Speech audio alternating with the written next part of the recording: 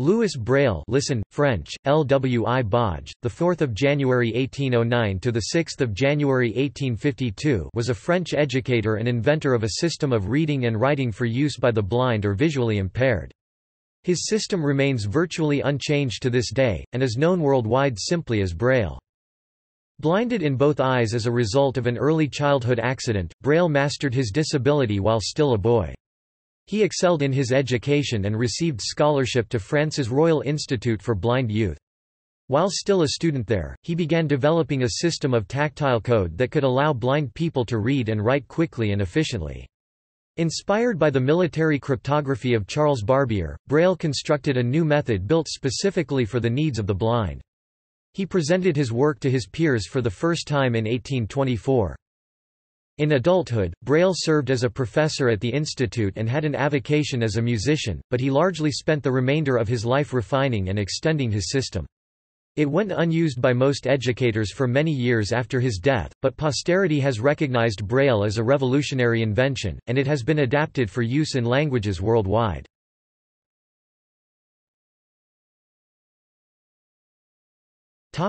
Early life Louis Braille was born in Coupvray, a small town about 20 miles east of Paris, on 4 January 1809. He and his three elder siblings, Monique Catherine B. 1793, Louis Simon B. 1795, and Marie Celine B. 1797 lived with their parents, Simon René and Monique, on three hectares of land and vineyards in the countryside. Simon René maintained a successful enterprise as a leatherer and maker of horse tack. As soon as he could walk, Braille spent time playing in his father's workshop. At the age of three, the child was playing with some of the tools, trying to make holes in a piece of leather with an awl. Squinting closely at the surface, he pressed down hard to drive the point in, and the awl glanced across the tough leather and struck him in one of his eyes. A local physician bound and patched the affected eye and even arranged for Braille to be met the next day in Paris by a surgeon, but no treatment could save the damaged organ. In agony, the young boy suffered for weeks as the wound became severely infected, an infection which then spread to his other eye, likely due to sympathetic ophthalmia. A Louis Braille survived the torment of the infection but by the age of five he was completely blind in both eyes. Due to his young age, Braille did not realize at first that he had lost his sight, and often asked why it was always dark. His parents made many efforts, quite uncommon for the era, to raise their youngest child in a normal fashion, and he prospered in their care. He learned to navigate the village and country paths with canes his father hewed for him, and he grew up seemingly at peace with his disability. Braille's bright and creative mind impressed the local teachers and priests, and he was accommodated with higher education.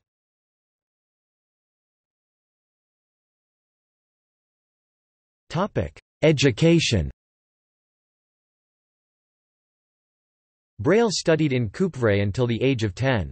Because of his combination of intelligence and diligence, Braille was permitted to attend one of the first schools for blind children in the world, the Royal Institute for Blind Youth, since renamed to the National Institute for Blind Youth in Paris.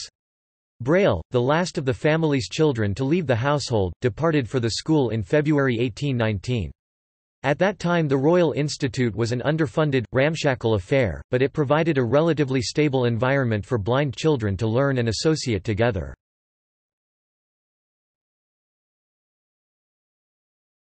Haüy system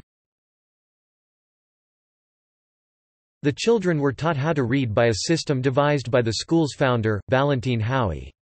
Not blind himself, Haüy was a philanthropist who devoted his life to helping the blind. He designed and manufactured a small library of books for the children using a technique of embossing heavy paper with the raised imprints of Latin letters. Readers would trace their fingers over the text, comprehending slowly but in a traditional fashion which Haüy could appreciate. Braille was helped by the Haüy books, but he also despaired over their lack of depth, the amount of information kept in such books was necessarily small.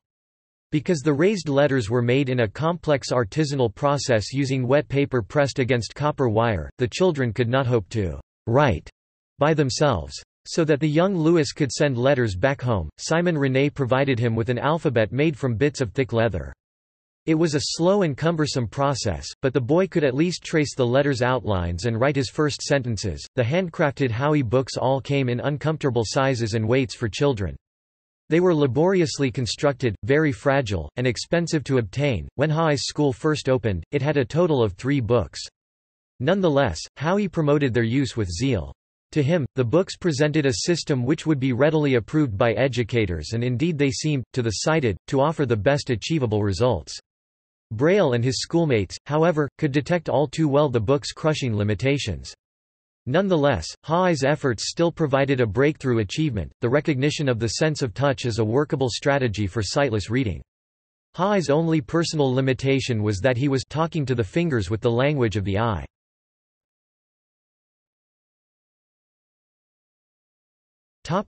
Teacher and musician. Braille read the Haüy books repeatedly, and he was equally attentive to the oral instruction offered by the school. He proved to be a highly proficient student and, after he had exhausted the school's curriculum, he was immediately asked to remain as a teacher's aide. By 1833, he was elevated to a full professorship. For much of the rest of his life, Braille stayed at the institute where he taught history, geometry, and algebra. Braille's ear for music enabled him to become an accomplished cellist and organist in classes taught by Jean-Nicolas Marrigues. Later in life, his musical talents led him to play the organ for churches all over France. A devout Catholic, Braille held the position of organist in Paris at the Church of Saint Nicolas des Champs from 1834 to 1839, and later at the Church of Saint Vincent de Paul.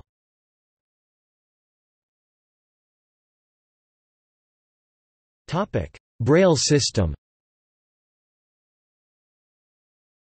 Braille was determined to invent a system of reading and writing that could bridge the gap in communication between the sighted and the blind. In his own words, access to communication in the widest sense is access to knowledge, and that is vitally important for us if we the blind are not to go on being despised or patronized by condescending sighted people. We do not need pity, nor do we need to be reminded we are vulnerable. We must be treated as equals, and communication is the way this can be brought about.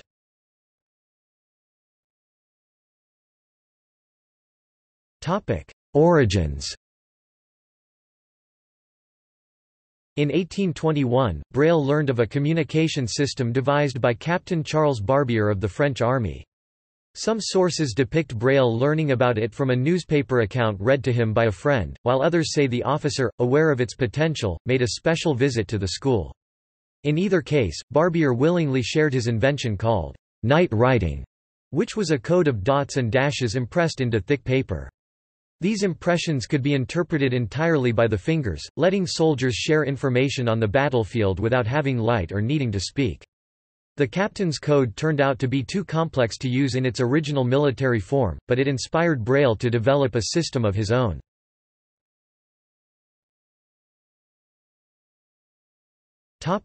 Design Braille worked tirelessly on his ideas, and his system was largely completed by 1824, when he was 15 years old. From Barbier's night writing, he innovated by simplifying its form and maximizing its efficiency. He made uniform columns for each letter, and he reduced the 12 raised dots to 6. He published his system in 1829, and by the second edition in 1837 he had discarded the dashes because they were too difficult to read. Crucially, Braille's smaller cells were capable of being recognized as letters with a single touch of a finger. Braille created his own raised dot system by using an awl, the same kind of implement which had blinded him. In the process of designing his system, he also designed an ergonomic interface for using it, based on Barbier's own slate and stylus tools. By soldering two metal strips across the slate, he created a secure area for the stylus which would keep the lines straight and readable. By these modest means, Braille constructed a robust communication system. It bears the stamp of genius, wrote Dr. Richard Slayton French, former director of the California School for the Blind, like the Roman alphabet itself.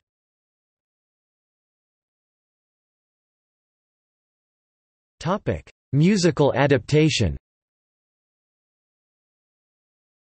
The system was soon extended to include Braille musical notation. Passionate about his own music, Braille took meticulous care in its planning to ensure that the musical code would be flexible enough to meet the unique requirements of any instrument. In 1829, he published the first book about his system, method of writing words, music, and plain songs by means of dots, for use by the blind and arranged for them. Ironically this book was first printed by the raised letter method of the Haüy system.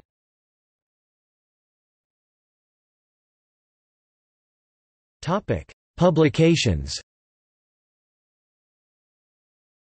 Braille produced several written works about Braille and as general education for the blind.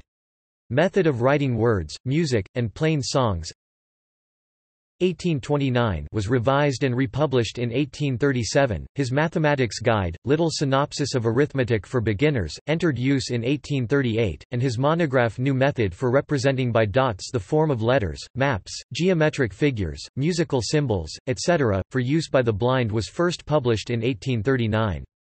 Many of Braille's original printed works remain available at the Braille Birthplace Museum in Coupvray.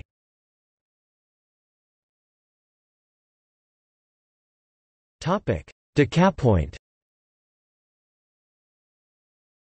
New method for representing by dots 1839 put forth Braille's plan for a new writing system with which blind people could write letters that could be read by sighted people. Called decapoint, the system combined his method of dot punching with a new specialized grill which Braille devised to overlay the paper. When used with an associated number table also designed by Braille and requiring memorization, the grill could permit a blind writer to faithfully reproduce the standard alphabet. After the introduction of decapoint, Braille gave assistance to his friend Pierre-François Victor Foucault, who was working on the development of his raphograph, a device that could emboss letters in the manner of a typewriter. Foucault's machine was hailed as a great success and was exhibited at the World's Fair in Paris in 1855.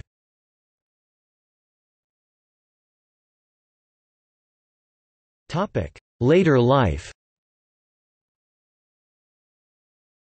Although Braille was admired and respected by his pupils, his writing system was not taught at the institute during his lifetime.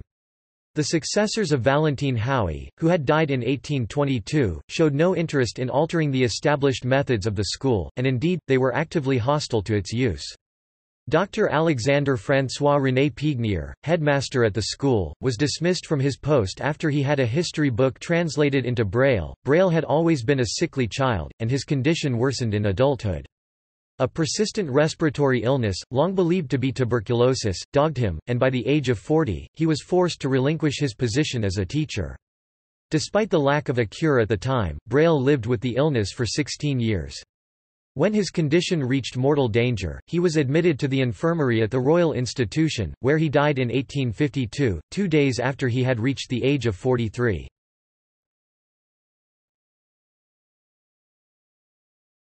Topic: Legacy Through the overwhelming insistence of the blind pupils, Braille's system was finally adopted by the Institute in 1854, two years after his death. The system spread throughout the French-speaking world, but was slower to expand in other places.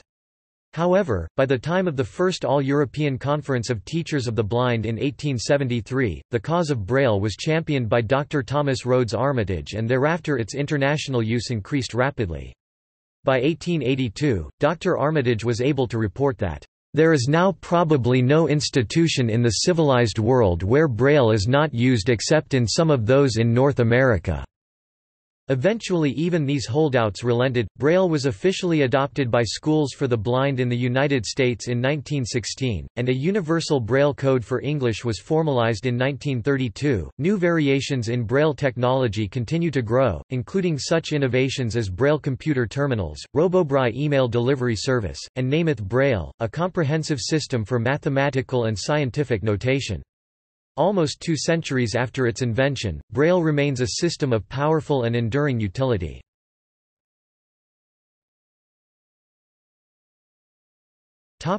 Honours and tributes The immense personal legacy of Louis Braille was described in a 1952 essay by T. S. Eliot. Braille's childhood home in Coupvray is a listed historic building and houses the Louis Braille Museum. A large monument to him was erected in the town square which was itself renamed Braille Square. On the centenary of his death, his remains were moved to the Panthéon in Paris. In a symbolic gesture, Braille's hands were left in Coupvray, reverently buried near his home. Statues and other memorials to Louis Braille can be found around the world. He has been commemorated in postage stamps worldwide, and the asteroid 9969 Braille was named for him in 1992. The Encyclopaedia Britannica lists him among the 100 most influential inventors of all time. The 200th anniversary of Braille's birth in 2009 was celebrated throughout the world by exhibitions and symposiums about his life and achievements. Among the commemorations, Belgium and Italy struck two euro coins, India struck a two rupee coin, and the USA struck a one dollar coin, all in Braille's honor.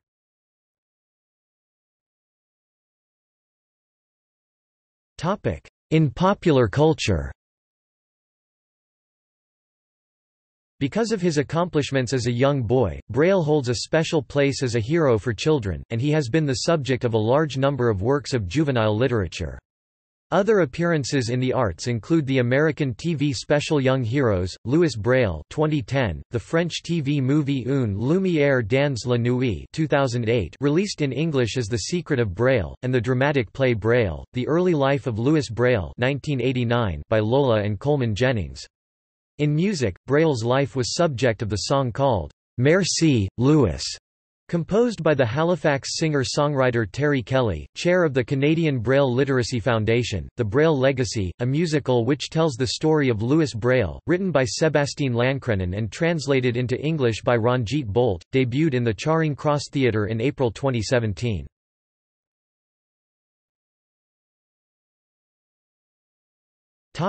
Notes Carita, it remains uncertain which eye was actually struck first. Most accounts of Braille's accident omit reference to left or right. Braille's American biographer J. Alvin Kugelmass wrote that it was the left eye, but c. Michael Mellor and Leonard Bickel state definitively that it was the right.